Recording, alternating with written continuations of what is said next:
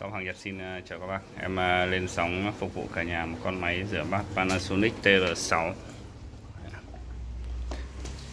Con này em để mã số 6 nhá. Em báo giá luôn hình thức như trên clip. Con này em bán giá 5 triệu rưỡi, Rẻ như TR3 luôn. Đây. Cái phần lưng này này, là anh em ờ, thợ sơn lại Nhưng mà chưa khô bọc ni lông vào Cho nên nó hơi có vết nhân của ni lông nhé các bác nhé Đây các bác nào mà không quá cầu kỳ rẻ hơn được cả một triệu so với bình thường đấy đợt 2014 đây là 6 nhé. Chưa khô, bọc ni lông vào mà nó có nhăn của vết ni lông. Bán à, cho các bác rẻ. Như tl là 5 luôn. Con này à t 3 con này nội thất cực đẹp luôn. Nước nóng bọc nội thất rất là mới nhé. Sạch sẽ.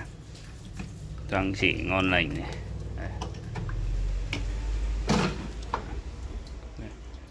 Nội thất rất sạch đẹp. Tai cửa thì còn rất là mới doang chỉ đẹp. Đấy.